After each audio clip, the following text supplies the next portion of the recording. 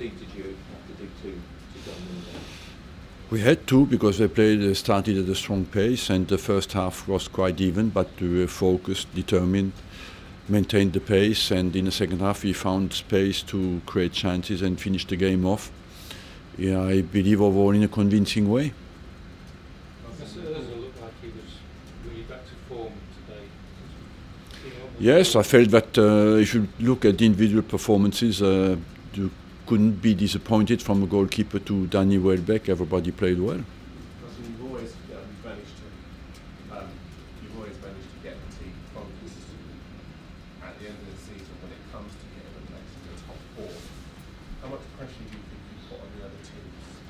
I don't know, uh, but we know uh, we can only win our games, and uh, uh, we had a strong performance on Sunday. We had a strong performance today, so let's just continue. What's the latest with Alex? It's a hamstring problem, but uh, we don't know how bad it is. Experience that you have in the race for the top four helps Arsenal to run and play. experience can help, but I, I believe that uh, for us it's uh, uh, important to maintain the focus and the intensity in every single game because we play Saturday again, you know, at Stoke, and uh, we need another very strong performance there. We came to a difficult ground here today, and uh, we go to another difficult one on Saturday. What's changed? Do you took four wins in five after the opposite really before that? What, what was been, I think uh, we are more stable defensively. um, Is Alex Oxlade-Chamberlain out for the FA Cup final, would you say? I don't know. Uh, I, it doesn't look because he walks properly. Uh, uh, it was tight. It was not uh, a knife, you know. In uh, I, personally, I'm. I uh, didn't see any incident where he had to stop in the sprint. It was more fatigue, but it's difficult to assess now after the game. Given where the team was after you beat Palace, if you were to gate crash the top four now, would that be one of your biggest achievements? I don't know. I let people talk and I do my job. Do you think three? Do you think three more wins? I don't know. I don't know more than you.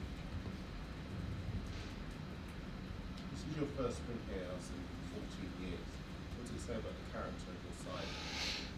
I believe that uh, I never questioned the character of my side, and uh, it's not because you lose games that you uh, people expect you to win that you have no character. But uh, it happened to us. We went through a bad patch, and uh, I believe that's where that's a good opportunity to show your character, how you come back, and how you recover. You know. But uh, and that maybe the Man City game gave us confidence as well a little bit. Timing is everything, Arsenal. Are you hitting momentum at exactly the right time? let's not go too quickly to conclusions and uh, focus and give everything on Saturday. Let- Let's talk about Stoke now, please, guys. Let's move on to ask that. about Sanchez? It's 20, uh, 20 goals in the league. Yeah, he, he is. I think he is. Uh, the goal he has scored tonight uh, shows what he's about. You know, uh, very good technique in a short space. Uh, scores important goals. No, it's not the five 0 and uh, has uh, with a very short technique he has invention in his head. He's creative because he's uh, not faced by anything and. Uh, he surprised, I think, everybody in the stadium tonight by, by his goal, by what he did, because you expected him to take a shot. And he's very quick on the move, so overall, uh, he has done extremely well. And I would say as well that Giroud came on, and uh, again, uh, the second goal was a very important goal for us tonight.